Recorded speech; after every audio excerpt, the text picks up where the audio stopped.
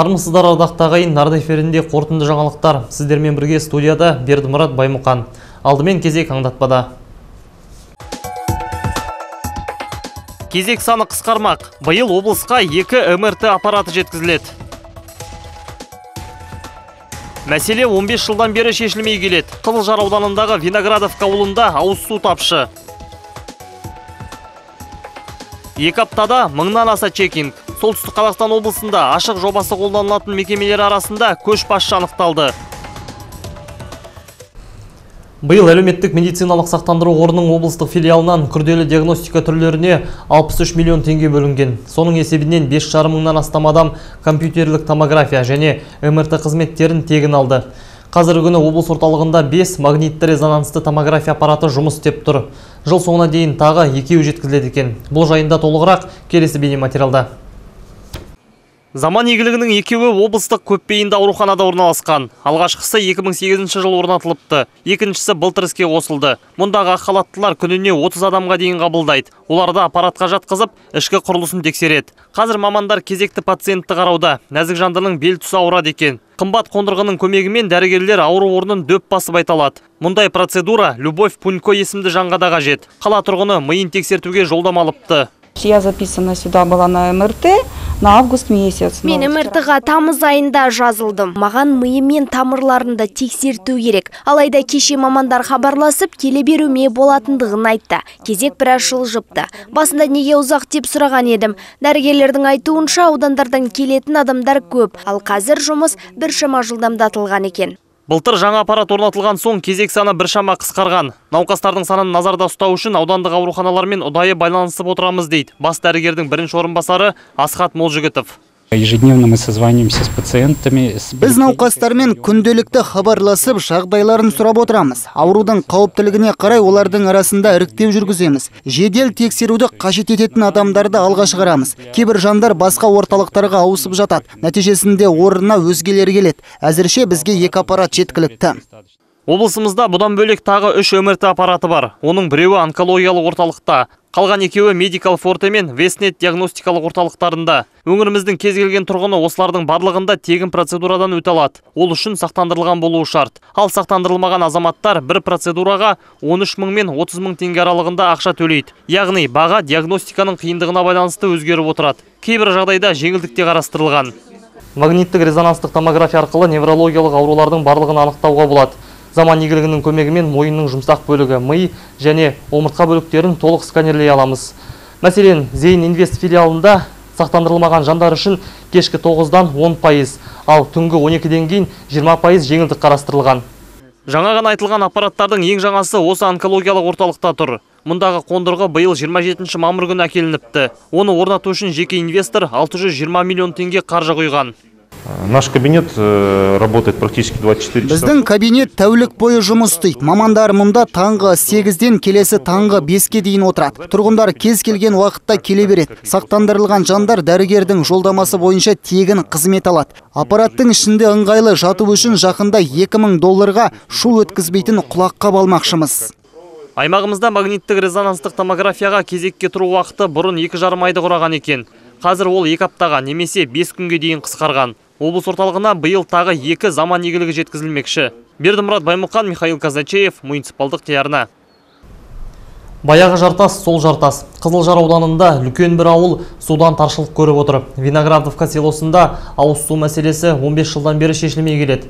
Тұрғындар ішуге арналған суды сатып алады, ал тұрмыстық мақсатқа көлден тасиды. Оның да сұрауы бар. Биыл елді мекенге су құбыры тартылуы тиіс болған екен. Бірақ жұмыс тұралап қапты. Мәселенің мән жайын Маржан Қасымбек білуге тырысты.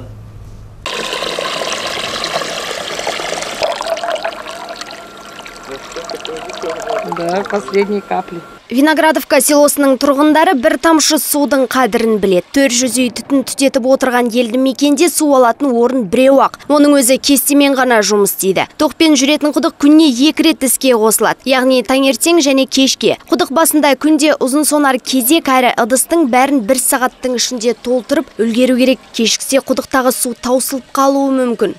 40 тенге фляга стоит. Сейчас Судың бір флягасын 40 теңгеге сатып аламыз. Өзім әлеуметтік қызметкер болып жұмыс істегендіктен жалғыз басты қарттар мен мүгедектердің де үйлеріне су тасимын. Әзірге аптасына екі рет барам. Күн ысыған сайын суға деген қажеттілік артып барады. Көмекшісі бар қарттар аптасына екі рет үйіне су кіргізіп алады. Ал басқа қариялардың жалғыз жанталасуына тура келеді. Тырнақтап жиналған тіршілік нәрі тек ішуге ғана жетеді. Тұрғындар үй шаруасына қажеттіні ауылдан бірнеше шақырым жерде орналасқан көлден әкеледі. Онда баруға техникасы жоқтар көл суының 40 литрін мың теңгеге сатып алуға мәжбүр. неше жылдан бері су жоқ мына жерде ше болотадан ішеміз ана жақтың барлығы болото тісіміз ауырып жатыр тісіміз түсіп жатыр балдардың іштері ауырып жатыр еще малға да су жоқ Ауыл тұрғындары жағдайды айтып, жергілікті әкімдікке талай рет жүгінген. Мәселе жыл басында шешімін табуы керек болған. Есіл су филиалының мамандары көктемде құбырға дейін әкеліп бірнеше күн құрылыс жұмыстарын жүргізген. Жоспар бойынша ауылға су құбыры тартылуы тиіс еді. Жұртшылықтың қуанышы ұзаққа созылмады. Көп уақыт өтпей шаруа тоқтап қалыпты. 15 күн істеді да кетіп қалды. Біреулер келіп тоқтатып тастайды тағышы сөйтіп биыл тағы келген еді міне тағы да тоқтатып тастады. Дайын материал тұр міне осыны істетін болса екі айда бізге су келеді екен. Бізге су керек Құрылыс жұмыстарының тоқтау себебі тұрғындарға әлі күнге дейін айтылмапты. Біздің келгенімізді естіген Виноградовка селолық округінің әкімі де асығыс кеп ауылдағы ағайынмен жиын өткізді. құжаттары түгел емес бұл ә, проект 13 жылғы істелінген қазбайлық деген организациясының адамдары келіп бізге түсініктеме берді халыққа да түсініктеме берді не үшін тоқтаған қандай сметалық құжаттарын жасау керек міне сондай мәлімет жасағаннан кейін рұқсат беріледі рұқсат берілгеннен кейін мына қайтадан жұмысына кіріседі Айтуынша қазір су құбырының жобалық сметалық құжаттамасына өзгеріс енгізіліп жатыр. Қашан дайын болатыны белгісіз. Ендеше құрылыс жұмыстарының да қашан басталатын дөп басып айту мүмкін болмай отыр. Маржан Қасымбек, Жанел Бейсенбаева, Қазбек Арықбаев, муниципалдық телеарна.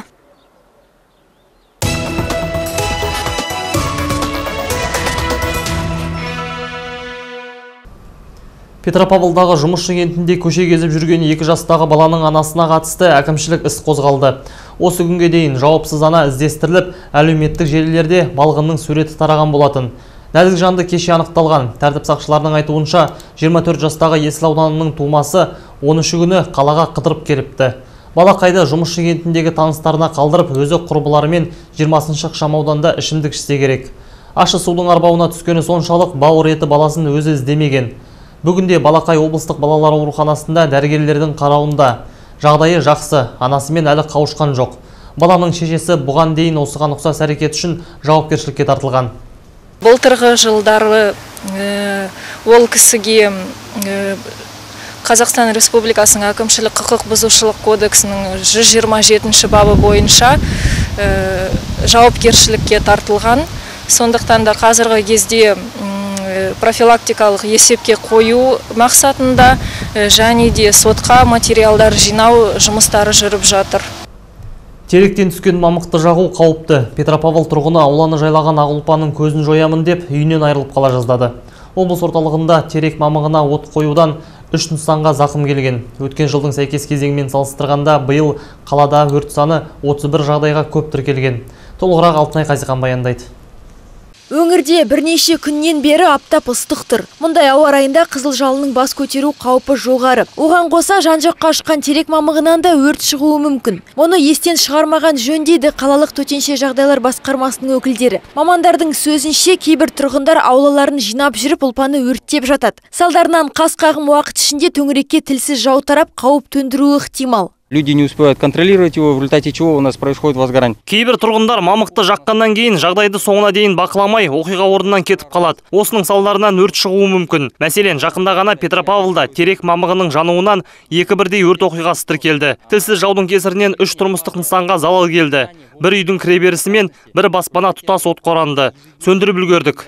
Бірінші Заречный көшесі 106 мекен жайында жағылған мамықтан айналаға от тарап, қора қопсы жанып кетіпті. Және бақшадағы ағаш пен қоршауды өрт шалған. Абырой болғанда жалын үйге жетпей ауыздықталды. проводятся ежедневные рейдовые мероприятия по недопущению поджигания пуха. осыған ұқсас оқиғалардың алдын алу мақсатында жеке тұрғын үй секторларында күнделікті рейд өткізіп жүрміз өйткені орын алған жағдайларға қарап тұрғындардың қауіпсіздік ережелерін ескермейтіндерін байқауға болады көп қабатты баспаналарды да назардан тыс қалдырмаймыз Жыл басынан бері облыс орталығында 106 өрт оқиғасы тіркеліпті. Салдарынан 8 адам көз жұмған, 19 адам түрлі дене жарақатын алыпты. Материалдық шығын көлемі 13 миллион теңгені құрайды. Алтынай Қазиқан Михаил Казначеев, муниципалдық телеарна. облыстық төтенше жағдайлар департаментінің мамандары рейдтік шараларын қорытындылады жыл басынан бері облыс аумағында ірі кәсіпкерлік нысандарына 600-ге жуық тексеріс жүргізілген оның 400-ге жуығында тиісті өрт қауіпсіздігі ережелерінің сақталмағандығы анықталды. Мамандар айыпты тұлғаларға қатысты әзірге ескертумен шектелген. Аталған жағдайлар алдағы уақытта қайталанатын болса 5-тен 10 айлық есептік көрсеткіш көлемі аралығында айыппұл салынады. Ең бірінші бұл әрине өрт автоматикалық дабылы жұмыс істеу одан кейін екіншісі бұл әрине қосалқы есіктер қосалқы жаңағы эвакуационный ә, есіктер айтамыз ғой соларды еркін ашылу. Және осы ә, жаңағы айтылған обслуживающий персонал бұлардың негізгі бұл өздерін ә, өрт қауіпсіздік жағдайда қандай немене істеу керек бұларды білу керек.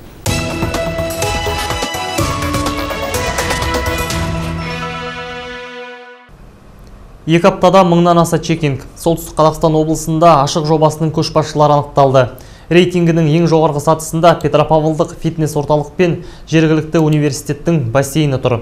Мамандардың айтуынша аталған ұйымдардағы QR кодты мыңнан аса адам сканерлеген екен. Толығырақ келесі бейнематериалда. Бұл қаладағы скиф фитнес орталығы. Мұнда халық көп жиналады. Дене шынықтырамын деп келген жандардың барлығы залға кірместен бұрын мына QR кодты сканерлеулері қажет. Дайын болған нәтиже осындағы қызметкерге көрсетіледі. Егер статус көк немесе жасыл болса, ішке өтеді. Айта кетейік, аталған ұйым облысымызда ашық жүйесіне алғаш болып тіркелген. По проекту «Ашик» мы работаем с 16 апреля текущего года. Ашық жобасына 16 сәуірде қосылдық. Алғашқы уақытта клиенттер жүйенің жұмысын дұрыс түсінбеді. Неге қойдыңыздар деп шағымданғандар болды. Жаңашылдық тұрғындардың өздері үшін пайдалы екендігін айтқымыз келеді. Біз келушілерге соның бәрін түсіндірдік. Қазір бәрі оңай. Адамдардың барлығында ашық қосымшасы бар. QR кодты сканерлейді де ішке кіре береді. Жаңашылдықтың арқасында жұмысымыз жүйелене түсті дейді қызметкерлер. Соңғы екі аптаның ішінде осы жерде мыңнан аса чекинг тіркелген. Яғни QR кодты сканерлегендердің саны бойынша фитнес-клуб облысымызда көш басына шықты. Марапатқа жергілікті университеттің бассейні де ие болды. Мұнда күніне жүзден аса адам келеді екен. За активное добросовестное участие в проекте «Ашик» вам присваивается статус лидера на двухнедельный срок. Поздравляю. Спасибо большое. Пожалуйста. Спасибо. Көшбасшы атағымен бірге қос нысанның жұмысына жеңілдік берілді. Алдағы екі аптада олар күнделікті графиктен 2 сағат артық жұмыс істей алады. Сондай-ақ келушілердің санын 10 пайызға дейін арттыру мүмкіндігіне ие болды. Мұндай қолдау басқа да қоғамдық орындарға көрсетіледі. Ол үшін ұйымдар ашық жобасына қатысу керек. Өзіміз білетіндей, аталған жүйе оқшаулану ережесін бұзып жүрген жандарды анықтауға көмектеседі. У нас было два случая. Жыл басынан бері облысымыздағы қоғамдық тамақтану орындарында сары статустағы екі адам тіркелді. Ал республика бойынша күн сайын 200-ден аса жан қызыл статуспен анықталып жатыр. Бұл жобаның дұрыс бағытта жұмыс істеп тұрғанын білдіреді. Ашықтың арқасында біз ауырған адамдармен байланыс жасаудың алдын аламыз. Жалпы қазіргі күні аймақтағы 154 нысан ашық жобасына қосылған. Бердімұрат Баймұқан, Михаил Казачеев, муниципалдық телеарна. Бүгінгі таңда облысымызда 4 мыңнан астам мемлекеттік қызметші еңбек етеді. Олардың жүзге жуығы тәуелсіздік құрдастары. Орда бұзар 30-ды маңайлаған жалынды жастар еліміздің дамуына сүбелі үлестерін қосып жатыр. Қызылжар ауданында еңбек ететін мамандармен әріптесім Дана Сәлімқызы сұхбаттасып қайтты. Қарапайым халықтың өтініш тілектерін тыңдап туындаған түйткілдерді тез арада шешу. Бұл Елдар Закариннің міндеті. Азамат Қызылжар аудандық әкімдікте бөлім басшысының орынбасары қызметін атқарады. Жас маман аудандағы жол су мәселесінің шешілуіне жауапты. Заканчивал я Северо-Казахстанский государственный университет. 2012 жылы жергілікті университетті тәмамдап Қызылжар аудандық әкімдігіне жұмысқа тұрдым. Содан бері осында қызмет етудемін. Басында компьютерлік техника операторы болып еңбек еттім. Қазіргі таңда аудандағы жолдардың сапасына жауаптымын. Тұрғындар тарапынан сұрақтар көп түседі. Солардың бәрін қарап шешуге тырысамыз. Михаил Смольянинов те тұғырлы тәуелсіздіктің құрдасы. Ол 1991 жылдың қараша айында Боголюбова селосында дүниеге келген. Қазіргі таңда Куйбышев ауылдық округ әкім аппаратының бас маманы болып еңбек етеді. Бұл салада жұмыс істеп жүргеніне екі жыл болыпты. Сондай ақ азамат волонтерлік істе де белсенділік танытып жүрген көрінеді. 2019 жылы мейірімді жүрек атты еріктілер ұйымын құрыпты. Тағы жас маман алдағы уақытта мемлекеттік тілді жетік меңгермек екен. Работать на государственной службе. Мемлекеттік қызметші қарапайым халыққа жақын болуы тиіс. Жұртшылықтың өтініш тілектерін тыңдап, мәселені шешуге атсалысуы қажет. Өз басым ауылдық округты одан әрі көркейтіп, мұндағы барлық мәселені шешкім келеді. Әрине, бұл бір адамның қолынан келмейді. Жалынды жастар біріксе, мәселелерді бір жақты етіп, елімізді алға жетелейді. Жалпы бүгінде біздің өңірімізде 4 мыңнан астам мемлекеттік қызметші жұмыс істейді. Олардың 700-ге жуығы жас маман. Дана Сәлімқызы, Қазбек Арықбаев, муниципалдық телеарна. Солтүстік қазақстандық тәртіп сақшылары әлем чемпионатында жүлде еншіледі. Маусымның 4 мен 8 аралығында Ташкентте қоян қолтық ұрыстан әлем чемпионаты өтті. Жаһандық жарыста Қазақстан намысын 9 спортшы қорғады. Солардың ішінде облыстық полиция департаментінде қызмет ететін Ырысбек Байдуллаев пен Ердәулет Сайдуллаев та болды.